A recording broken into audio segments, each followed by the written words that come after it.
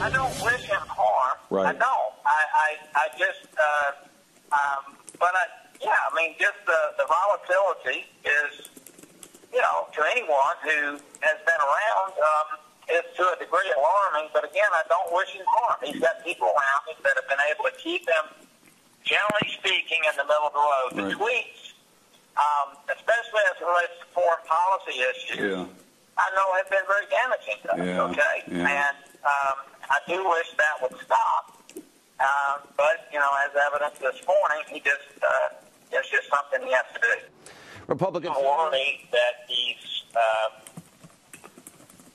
uh, yeah, it's, it's, sometimes I feel like he, he's on a reality show of some kind, you know, when he's talking about these big foreign policy issues. And, Yeah. and you know he, he doesn't realize that you know that we could be heading towards World War Three with Yeah. the kind of comments that he's making, and it's like he it, it's like it's an act to come, and sure that bothers me. Republican Bob Corker slamming President Trump to the New York Times. Wasn't that nice of him? Meanwhile, Corker is set to retire at the end of his term, but former White House Chief of Staff, Chief Strategist Steve Bannon is now launching a new effort to target other anti Trump Republicans with plans to back primary opponents to nearly every Republican up for re election. Think Alabama, Roy Moore. He joins us now. He's the executive chairman of Breitbart News. How are you? You know, how you doing? You you you lost weight since you left the White House. You look good. pounds. Oh, good for you. Feel great. He's so arrogant. He's such an elitist snob. He's the swamp. The Senate hasn't done a thing, Steve. Nothing. The American people see right here. This is the way. This is what they think about President Trump behind closed doors. He happened to tell the New York Times exactly what he thought. It's totally unacceptable. In a time of war, we have troops in Afghanistan, in the Northwest Pacific in Korea. We have a major problem that could be like World War I, in the South China Sea, in the Persian Gulf. We have American lives at risk every day. He tweets on Sunday that it's like the adult uh, center and somebody didn't have the morning shift. And then he has the audacity to go to the New York Times and to give this He didn't know that was going to air. He didn't know they were going to release that.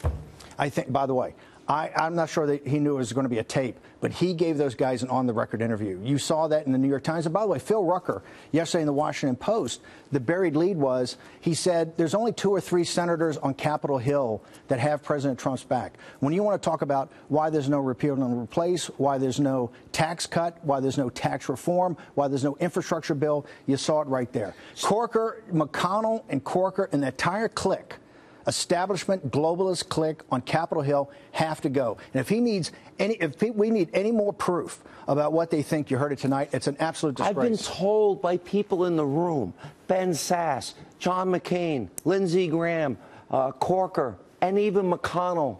They trash the president, but yet they can't get any of their promises completed. I've, they are the swamp. Republicans are weak and pathetic, and they're lacking in identity. And the forgotten men and women that voted this election are being let down.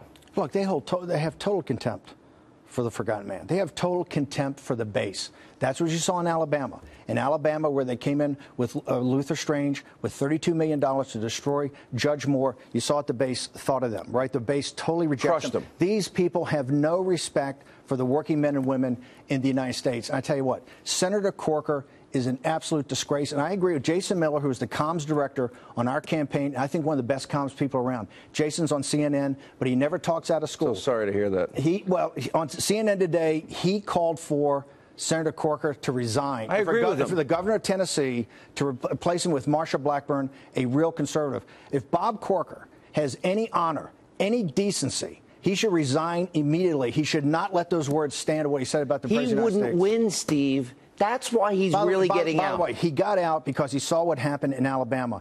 If, if he wants to, by the way, he should get back in because he's going to get crushed. In a Marsha. Blackburn would kill He's going to get crushed in a primary. He doesn't have the guts to get in, so he doesn't have the guts to get back in the race. He should resign right, here's a question.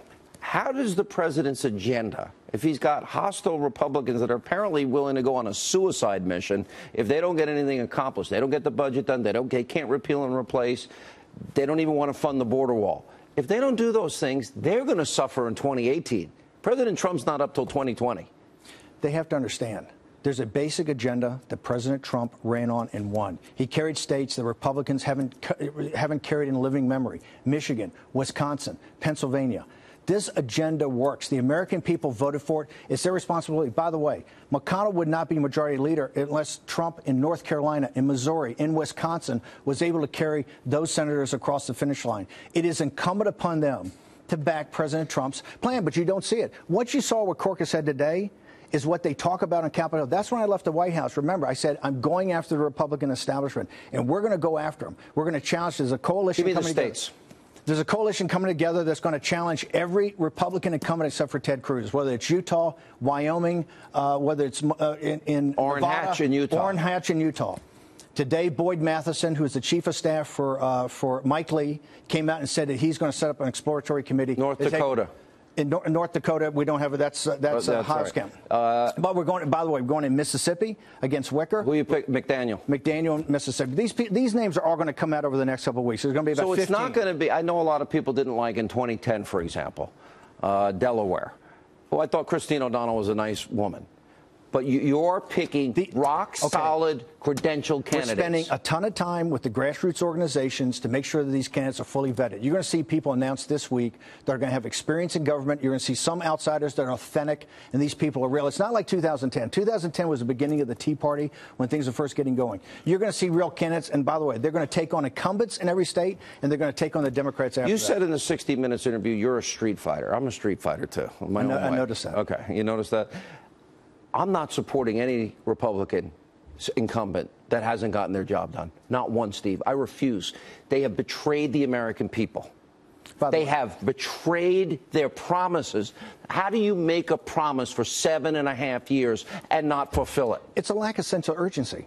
By the way, these guys work three days a week. The American people now, people are working two jobs. Their wives are working two jobs. They know the urgency out there on the economic hate crimes that have been perpetuated on the American working men and this women, women in this country because of the trade deals. Is this a fair statement? Is Steve Bannon declaring war on the establishment that are not for the working men and women in this country? 100%. Uh, we, we are declaring war on the Republican establishment that does not back the agenda that Donald Trump ran on and the President of the United States. And that is an agenda that we know backs the working men and women This is basically a war because you know what McConnell did war. in Alabama.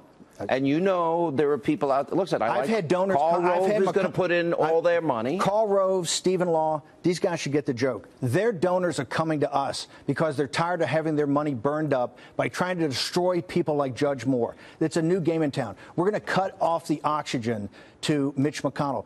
Mitch McConnell's biggest uh, asset is the money. We're going to make it the biggest liability. we're question. going after these guys tooth and nail. Uh, does that mean that people that voted in 2010 and 2014 and 2016 now they have to wait to a victory in 2018? Listen, That's a long time for the American people to, to wait. take your country back, it's not going to happen in just any one election. This is something you're going to have to grind out day in and day out for the next 5, 10, 15, 20 years. It took us a long time to get here. There's no magic wand we can wave and drain the swamp. There's no magic wand we can wave and, and blow up this establishment. I hate to tell people you're going to have to work, but you know what? The grit, determination, and courage of the American working men and women, we're going to win. I'm glad you're not going after Cruz. I've already endorsed love him, Ted and I'll tell you why. Ted Cruz is a good man. Ted Cruz has has one of the few that he stood there and said, "We have the constitutional authority to not fund Obamacare," and his own party betrayed him.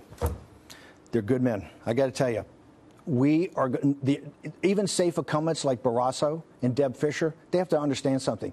Just voting is not good enough. You have to have a sense of urgency. Nobody's safe. We're coming after all of them, and we're going to win. Street fighter Steve Bannon. Good to see you.